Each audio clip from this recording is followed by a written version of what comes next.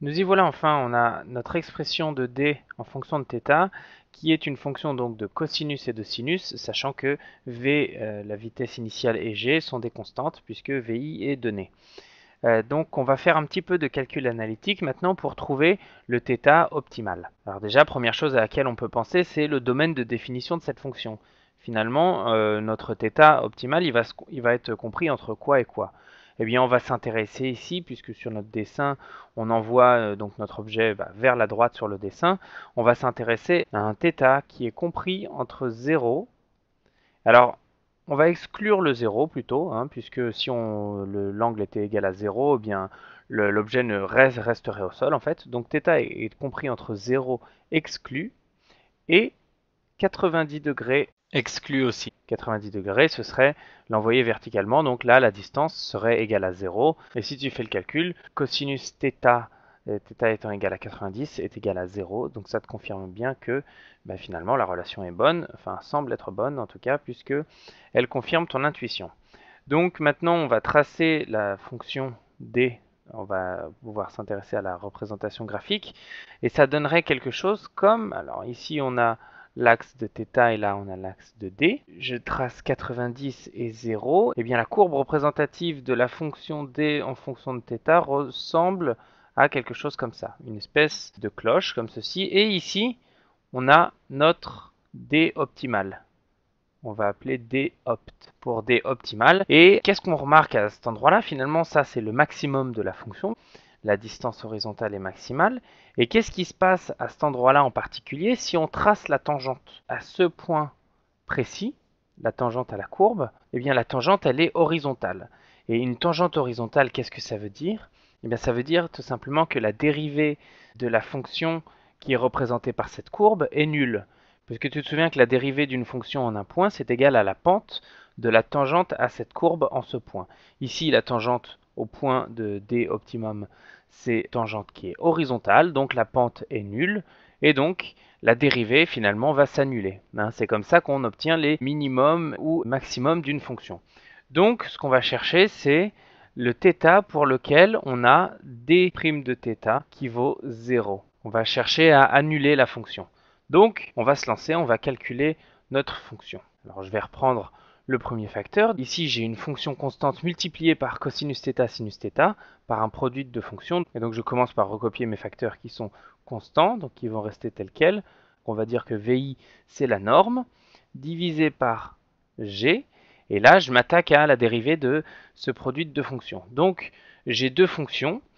La dérivée du produit de fonctions, c'est la dérivée d'une fonction multipliée par l'autre, plus la dérivée de l'autre multiplié par l'une. Si on euh, écrit la règle UV', c'est égal à U'V plus UV'. Ah, ça, c'est la règle, la dérivée d'un produit de fonction. Et donc, on va avoir cos prime de θ, c'est moins sinus θ.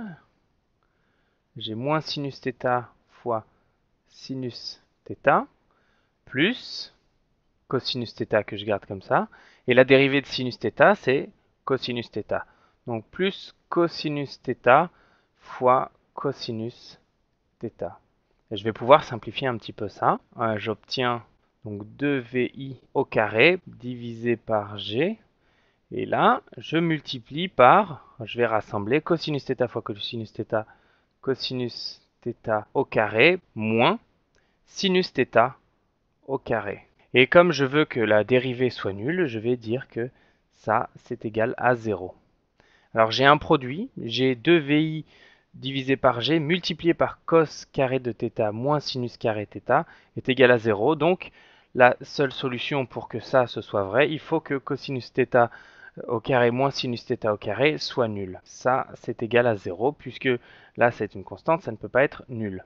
Et donc, on reste avec cosinus carré de θ moins sinus carré de θ est égal à 0.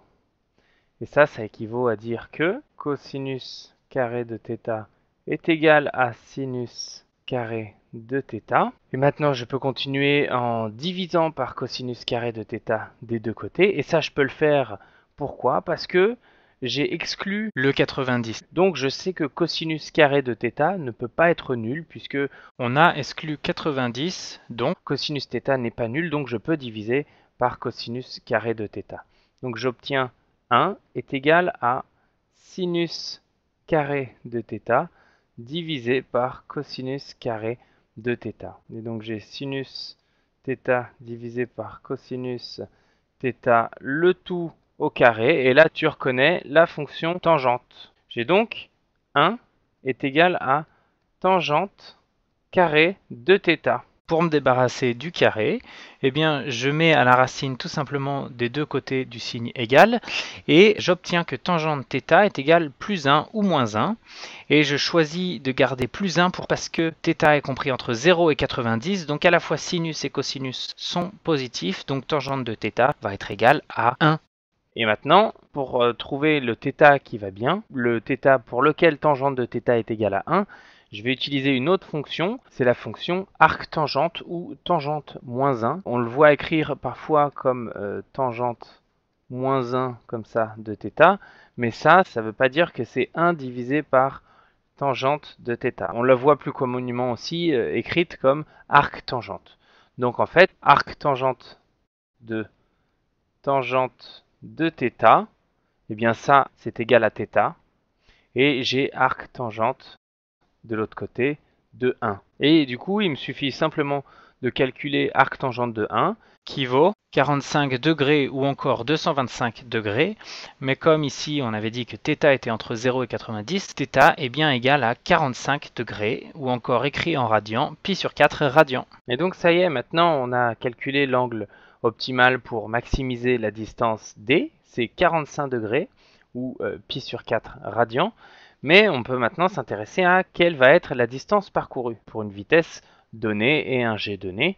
Quelle va être la distance parcourue? Alors là, pour ça, on a juste besoin de calculer deux petites choses. On a besoin de calculer cosinus 45. Alors cosinus 45 est égal à racine de 2 divisé par 2. Et il se trouve que c'est aussi égal à sinus 45. Donc si je reprends mon d ici, je vais avoir d de 45 qui est égal à 2vi au carré divisé par g multiplié par racine de 2 sur 2 fois racine de 2 sur 2, donc racine de 2 sur 2 le tout au carré. Racine de 2 au carré ça vaut 2, divisé par 2 au carré qui vaut 4, ça vaut donc 1 demi. Le cosinus 45 fois sinus 45 c'est égal à 1 demi, donc je multiplie ici par 1 demi et je simplifie bien évidemment par le 2. Donc la distance parcourue d'un objet projeté avec un angle de 45 degrés est de VI carré divisé par G, VI étant la norme du vecteur vitesse. Et donc si je te donne un G pour une planète en particulier, que ce soit la Terre, Mars ou la Lune, et une vitesse initiale, eh bien tu es capable de me donner la distance maximale possible qu'un objet euh, projeté en avant pourrait parcourir, bien sûr en n'oubliant pas qu'on a fait une hypothèse qui faisait qu'on négligeait la résistance de l'air.